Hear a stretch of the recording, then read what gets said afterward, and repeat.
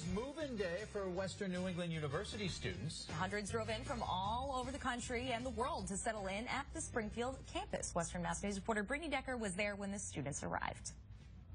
A day full of smiles and tears. It's uh, a lot of emotions going on. Um, leaving my family, it's very sad, but I'm ready to start my own my own life. Kaylee Canavan is moving into Franklin Residence Hall at Western New England. She says her car was filled to the top. I took pretty much everything. There's nothing left. Emotions running high for her parents, Bob and Diane, too. And take care of mom. You gotta make sure mom's okay here. Been emotional too. Yeah. Yeah, the drive home's gonna be fun. Patrick's parents feel the same. They're his cheerleaders, and they're there to make sure he's fully prepared. Crazy, because you're going over the list, make sure you have everything. It's like, oh God, what does he need? What don't need? You know, is he going to have enough?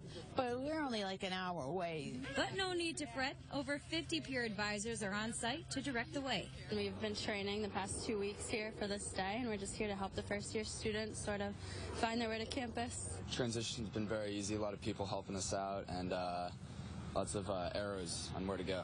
The sun is shining bright on the busy parking lot. Cars line the curb. 850 first year students settling in. Sam Brewer is a freshman, but moved in a week ago for preseason soccer practice.